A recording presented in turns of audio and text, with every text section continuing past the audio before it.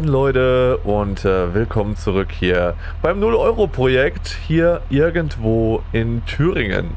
Ja Leute, es ist Zahltag, ich sage es euch. Und wenn ihr oben rechts auf den Kontostand schaut, dann seht ihr, da hat sich sogar schon was getan, denn ich habe schon ein paar Ballen ähm, zu viel gehabt und es liegen noch ein paar auf dem Feld. Aber die, die werden wir dann irgendwann im Laufe der Zeit einfach mal einsammeln, wenn wir nichts mehr zu tun haben. Hier haben wir auf jeden Fall jetzt noch eine komplette Ladung, die wir einmal abgeben müssen. Und Freunde, ich freue mich, denn danach werden wir den Auftrag abgeben und dann heißt es Cash, Leute, Zahltag. Ja, Freunde, dann kommt hier richtig, dann kommen hier richtig Moneten rein, würde ich sagen. Dazu schalten wir mal hier das hier fährt. Uff. Ich fahre hier nochmal ein Stück vor, damit wir vielleicht hier dann letztendlich ordentlicher vielleicht den Trigger treffen. Wobei eigentlich müsste das ja hier passen. Ja. Die meisten Mutter muss man ja nicht 100% treffen. Dann einmal abladen, bitte. Wir wollen Cash sehen. Und da sind wir, Leute, nochmal 24.000 Euro on top. Das ist ja der Hammer. Leute, das ist ja der absolute Oberhammer. Also, ja, ich, ich, ich bin überwältigt. Leute, das ist ja der Hammer. Jetzt schaut mal auf den Kontostand. 92.000 und wir haben noch nicht den Auftrag abgegeben. Das ist ja der Burner. Leute, das machen wir mal direkt. Ja, dann müssen wir zum Händler springen, aber ich hab da Bock drauf. Jetzt gehen wir hin, machen wir hier einmal abschließen. Ich kann, by the way, das hier immer noch nicht abschließen. Es geht einfach immer noch nicht. Ich probiere es immer und immer wieder. Oh, hier nur Ball. Ach du lieber Gott. Aber Leute, guckt euch den Kontostand an. 136.457 Euro. Leute, es ist der Burner. Ich bin... Leute, es kann jetzt richtig losgehen. Jetzt kann es richtig losgehen. Und ähm, dazu gucken wir trotzdem noch mal in den Gebrauchtwagen-Shop rein.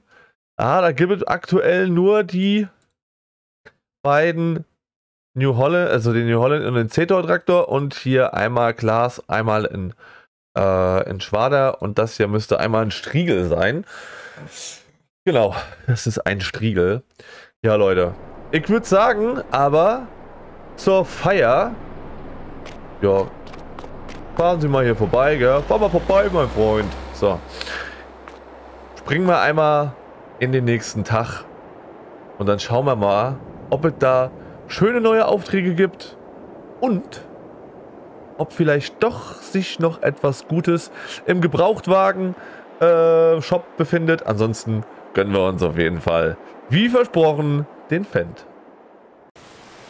So, Freunde, da wären wir beim Händler und es regnet. Ja, es ist auf jeden Fall ein neuer Tag angebrochen. Ich habe mal ein bisschen länger geschlafen. Aktuell 9.27 Uhr im Mai. Ja. Katastrophenwetter.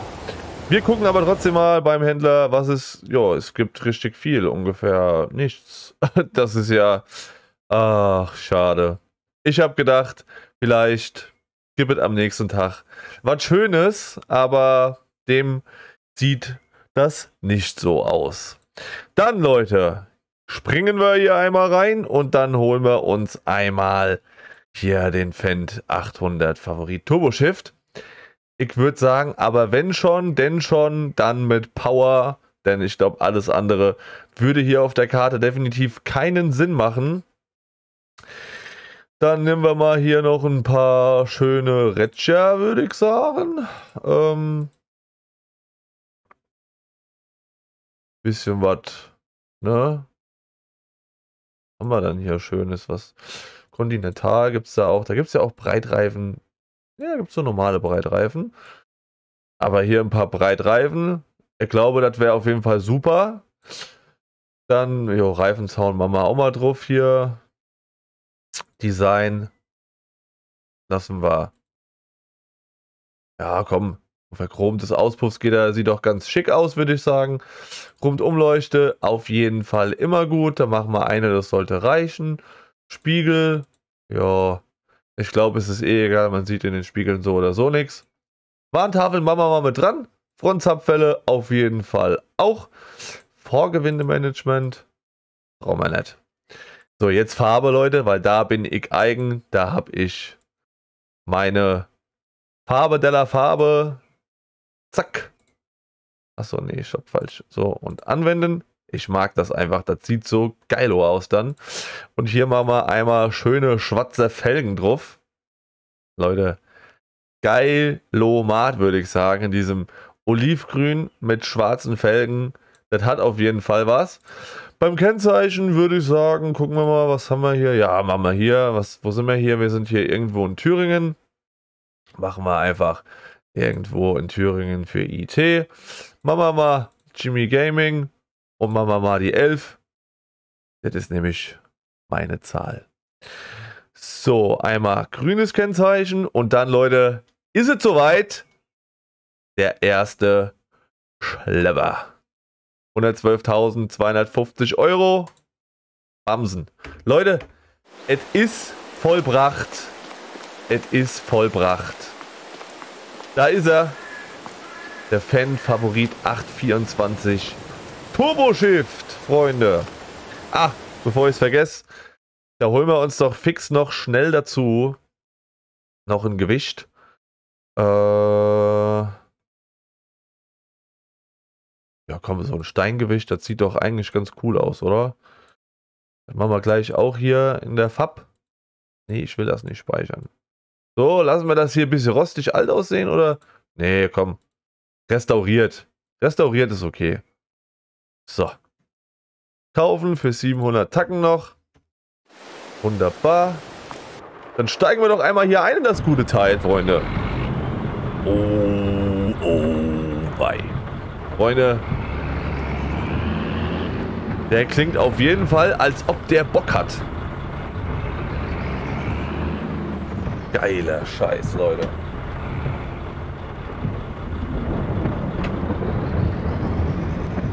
So. Machen wir mal das Gewicht noch schnell hier dran.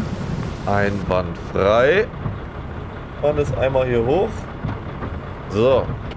Leute. Ist das nicht ein Geschoss? Das Teil ist doch alter Schwede. Geilo Bad. So Leute, alles klar, ich habe was gefunden. Es ist zwar nicht der Hammer, aber es ist einmal auf Feld 131 Mähen, Ballenpressen und zwar diesmal aber Heu. Und da wir ja jetzt hier unseren neuen Fendt 824 Favorit haben, würde ich sagen, starten wir auch mit dem durch und setzen hier einmal ganz kurz das Mähwerk an und testen mal direkt aus, wie das hier funktioniert mit dem guten neuen Schlepper von uns, Leute. Dazu müssen wir einmal hier ganz kurz das Gewicht abmachen. Und dann ziehen wir hier mal kurz zurück. Und dann holen wir uns mal hier das Mähwerk.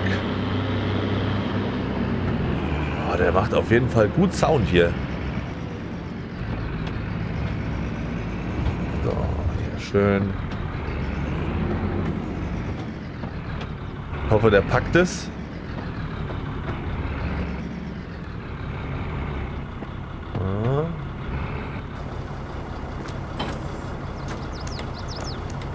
Wunderbar. So, das hängt.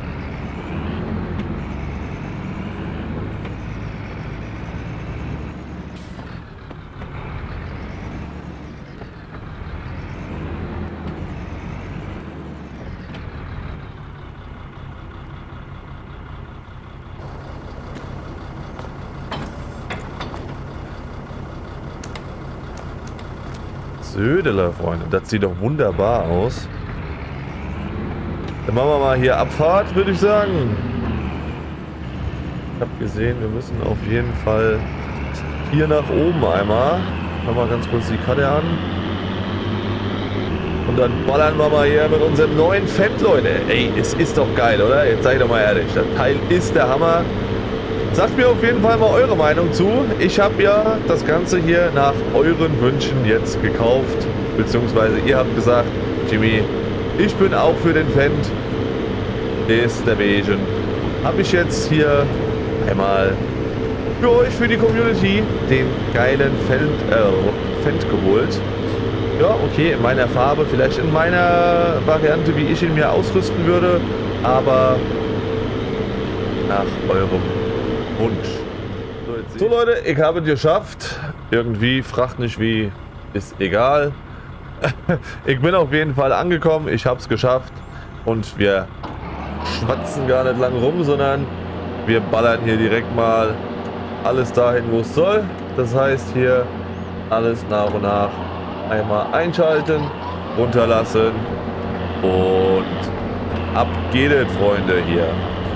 Jetzt kann der Fendi aber zeigen, zu was er zu gebrauchen ist. Ob das hier eine gute Entscheidung war oder ob das keine gute Entscheidung war. Ich meine, letztendlich, ihr habt es entschieden, ihr habt gesagt, ihr wollt das gute Teil haben.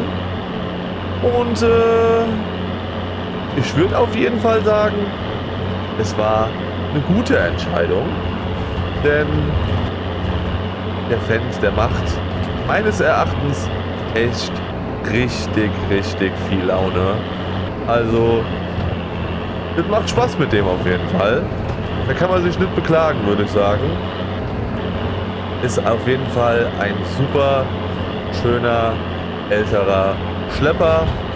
Und für uns, für unser 0-Euro-Projekt als ersten Schlepper mit 265 PS auf jeden Fall super gut ausgestattet.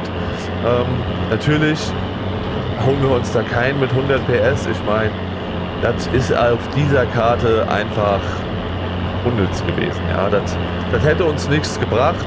Da hätten wir letztendlich nur hier rumgedruckst und keine Ahnung, hätten dauernd wieder irgendwelche Probleme gehabt und wir kämen da nicht weiter. Da eine Bech nicht hoch, da wären wir untermoderisiert gewesen und so weiter und so fort. Klar, natürlich, der Fan ist jetzt hier auch nicht die überragende Kraftmaschine, ja. Also wir reden hier immerhin von 265 PS. Die sind sehr stabil, gar keine Frage. Aber ich glaube, für manche Feldflächen, die es hier gibt, ist auch da die Leistung ein wenig schwach. Ich meine, wir haben es ja gesehen, gerade äh, in, der, in der zweiten Folge vom Euro-Projekt mit dem großen äh, New Holland T9, glaube ich, war es. Der hatte da natürlich auch so ein bisschen seine Problemchen gehabt. Ja, ich weiß, ich habe den Kommentar gelesen, das lag auch am Schlupf. Und ähm, das lag dann letztendlich halt auch daran, glaube ich, weil er vorne einfach eventuell ein bisschen zu leicht war. Aber dennoch habe ich gemerkt, der hatte da so ein bisschen seine Probleme gehabt, ja. Also wenn ich auch überlege, der kam da nicht so ganz stabil den Berg hoch, das hat ihn schon ein bisschen krass angestrengt, ja. Also das darf man dann auch nicht vergessen, ja. Also insofern, ich glaube, für die ersten Zwecke für die ersten Arbeiten, die wir jetzt hier verrichten, gerade hier mit dem Mähen, ich glaube, da werden wir überhaupt gar keine Probleme haben. Da ist der Fendt auf jeden Fall super am Start. Und ähm, ich hoffe auf jeden Fall sehr, dass hier in Zukunft auf jeden Fall noch andere Aufträge kommen und nicht nur Ballenpressen, denn dann wird das Ganze hier sehr, sehr eintönig und äh, wird uns letztendlich überhaupt gar nicht viel bringen. Naja, viel bringen schon, aber ich glaube, der Spaßfaktor ist dann demnach doch schon sehr gering. Aber gut, Leute, ich würde sagen, ich spring mal raus und dann schieße ich mal hier ein bisschen Gras ab. Ab geht's!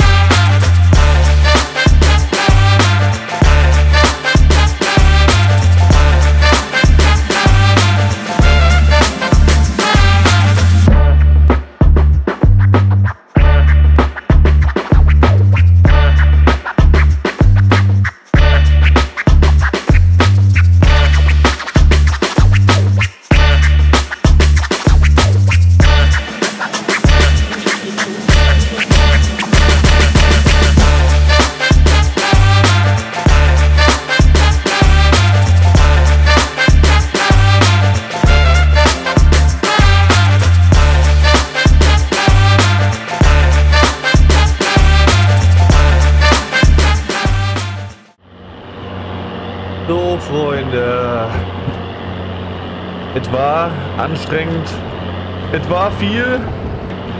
Aber ich habe es geschafft. Wir haben es geschafft. Es ist gemäht. ja, Leute, es ist gemäht. Ja, Punkt 1 haben wir dann schon mal, können wir dann schon mal abhaken auf unserer Liste. Das hätten wir schon soweit. Ist ja super, ne? Also, ich bin ja totally erfreut davon. Ah, Leute, das ist, das ist wirklich, also, das ist sehr zeitaufwendig. Das sage ich euch, wie es ist. Ich werde auf jeden Fall nach dieser, nach dieser Aktion hier mit Ballenpressen, werde ich das Ganze erstmal verfluchen. Punkt 1. Punkt 2. Ich werde auf jeden Fall in den Monaten nach vorne springen, damit, äh, damit äh, wir keine Ballenpressaufträge mehr machen müssen. Das ist dann so, aber ich will dann lieber so weit nach vorne, dass wir irgendwie vielleicht ein paar Ernte... Uppala. Hier kommt paar. Irgendwie Ernteaufträge machen können. Oder was auch immer. Auf jeden Fall definitiv was anderes als Ballenpressen. Denn das ist wirklich ein sehr, sehr eintöniges und meines Erachtens auch doch schon sehr langweiliges äh, Thema. Und ähm, das gefällt mir dann dementsprechend nicht ganz so gut.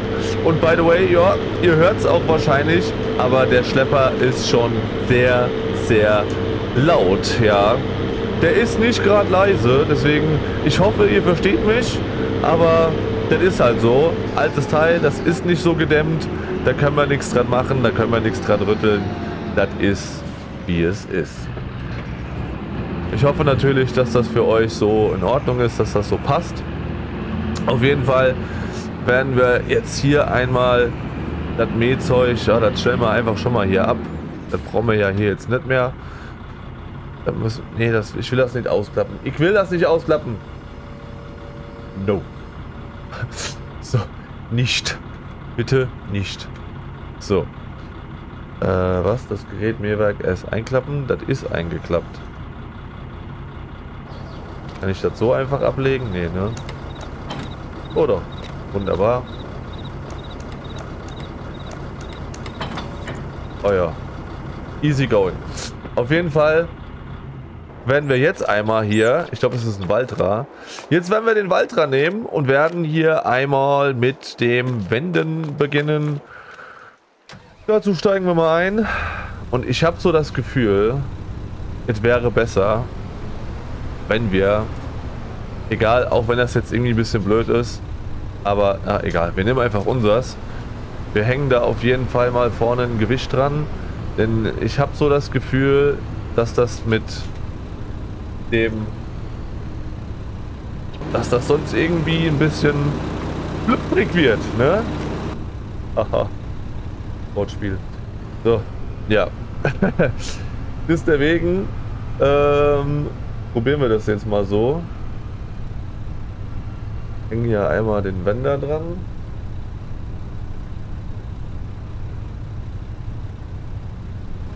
So, zackig. Ich glaube nicht, dass wir hier alles in der einen Folge hier schaffen werden, Freunde. Ich gebe natürlich mein Bestes. Ich gucke, dass es klappt. Ich gucke, dass dass es passt. Aber ich denke, wir werden hier in der Folge jetzt nur zum Mähen, zum Wenden und zum Schwarten kommen. Ähm, aber ich gebe mein Bestes. Wenn ich, wird auf jeden Fall die Ballenpressaktion und die Aufsammelaktion definitiv in der nächsten Folge passieren und dann gibt es wieder Cash. Dann gibt es auf jeden Fall wieder eine Menge Cash für uns.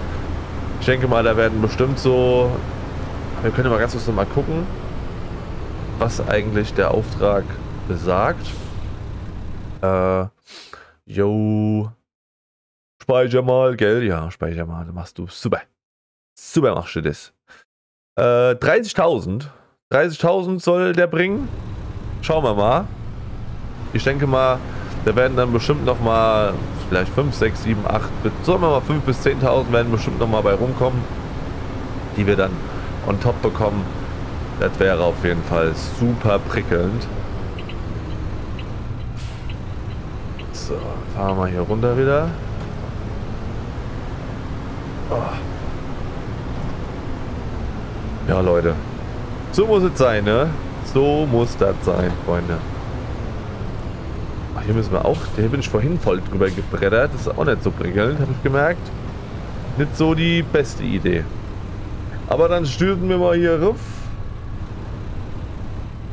Klappen den Wender einmal aus. Ich weiß gar nicht, wie groß der ist. Klappt der sich nochmal aus? Uh, ja, der klappt sich nochmal aus. Dann fahren wir mal hier ein bisschen drüber. Das sieht auf jeden Fall schön groß, groß aus, Leute. Hoffe ich mal, dass das schnell funktioniert. Einmal runter. Wieso willst du nicht eingeschaltet werden, Freund?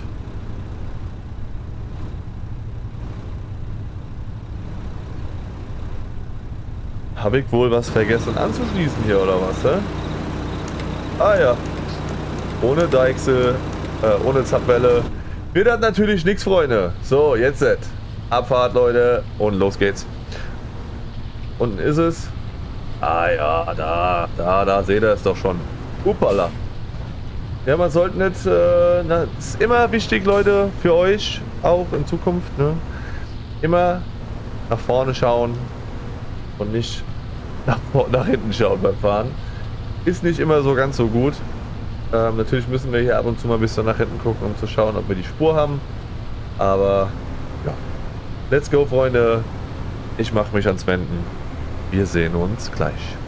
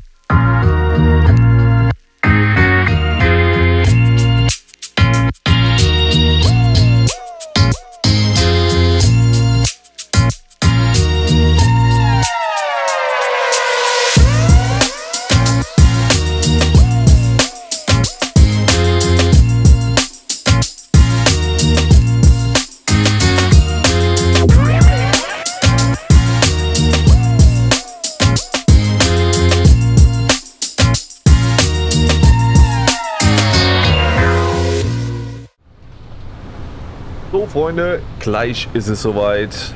Wir haben es dann geschafft.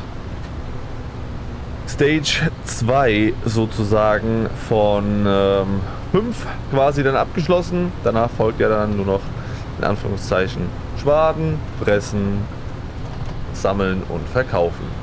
Wobei ich Sammeln und Verkaufen dann dementsprechend einfach als ein Schritt bezeichne. Ne? Ähm, ja, Leute, es ist auf jeden Fall äh, ganz schön viel, kann ich sagen. Und ähm, es wird auf jeden Fall schon die ein oder andere weitere Minute kosten, die ähm, hier ins Land gehen. Aber ich bin hier guter Dinge, dass das auf jeden Fall sehr, sehr erfolgreich wird. Genau. Und deswegen düsen wir jetzt mal wieder schnell zurück zum Händler. Und dann werden wir einmal fix den Schwader dranhängen, damit es hier direkt munter weitergeht. Denn, wie sage ich immer und wie sagt auch jeder andere Chef, Zeit ist Geld. Und ähm, Geld haben wir ja noch, haben wir ein bisschen übrig. Ich glaube, es sind 23.000. Wir können mal ganz kurz gucken. 23.397. Wunderbar hätten wir das auf jeden Fall auch schon mal gecheckt. Und ähm, genau, Leute. Tja, ich hoffe auf jeden Fall, dass wirklich nach diesem Auftrag hier und dass dann dort auch andere Aufträge sind als Ballenpressen, denn darauf habe ich tatsächlich keine Lust mehr. Ballenpressen ist dann doch schon auf Dauer na, ein bisschen eintönig und langweilig, würde ich jetzt mal so behaupten. Ne?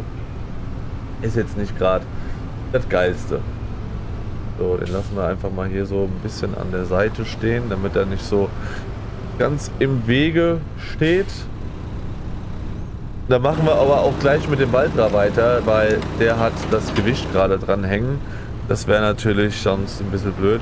Wir nehmen auf jeden Fall den Fendt, denke ich mal, für die Ballen zu pressen.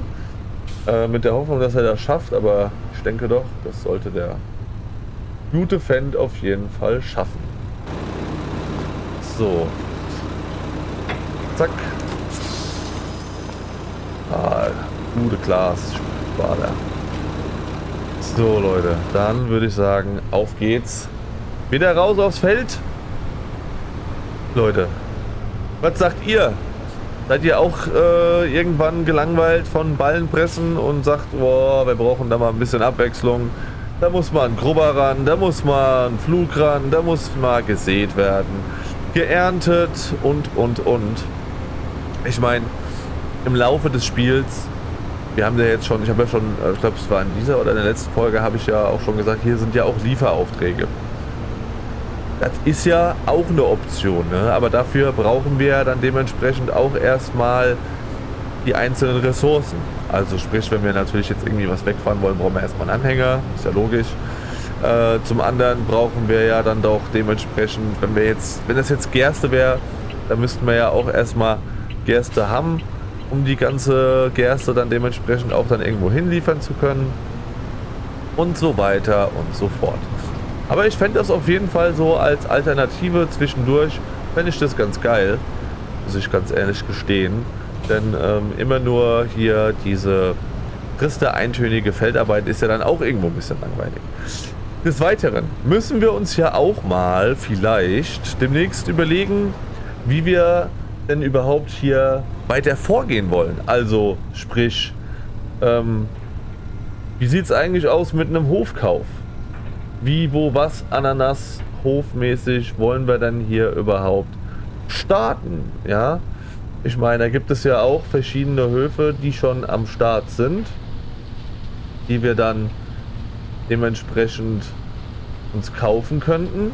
Das wäre ja auch schon mal super. Ähm, da müssten wir dann vielleicht gleich mal, oder ich sag mal so, wir machen es einfach so, nach dem Schwaden schauen wir mal, was es da so Schönes gibt. Und dann können wir ja mal gucken, was wir da so für die Zukunft anstreben. Und dann habt ihr wieder eine Entscheidung, wo es denn dementsprechend weitergeht. Genau Leute, ich würde sagen, so machen wir es. Ich springe in die Außenansicht und schwart hier einmal das Feld ab. Ne? Ich meine, bei uns sagt man auch zum Abschwaden auch manchmal was anderes. Ne? Aber wir schwaden hier einmal und dann sehen wir uns gleich.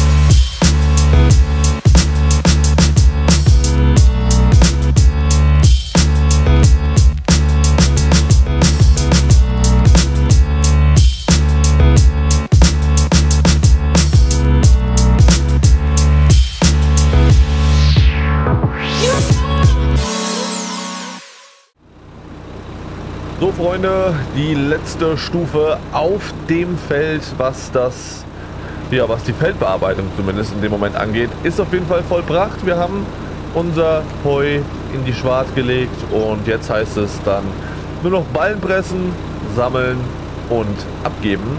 Das machen wir dann auf jeden Fall in der nächsten Folge. Ich hoffe, euch hat diese kleine Folge, klein in Anführungszeichen, gefallen. Und ähm, ja, ihr supportet weiterhin das 0-Euro-Projekt. Ich würde mich auf jeden Fall sehr darüber freuen. Bis dahin, ja, schaut auf jeden Fall in der nächsten Folge wieder rein, wenn es dann darum geht, die Ballen, wie gesagt, zu pressen, einzusammeln, abzugeben und dann zu schauen, was wir als nächstes machen werden. Ich weiß, ich wollte euch sagen, oder ich wollte mit euch noch schauen, was wir in der nächsten Folge, äh, was wir uns für Höfe, Höfe angucken und welche Höfe es werden sollen. Das machen wir auf jeden Fall versprochen in der nächsten Folge. Ansonsten wird diese hier zu lang. Bis dahin. Schaut wieder in der nächsten Folge rein. Macht's gut. Passt auf euch auf. Ciao, Kakao.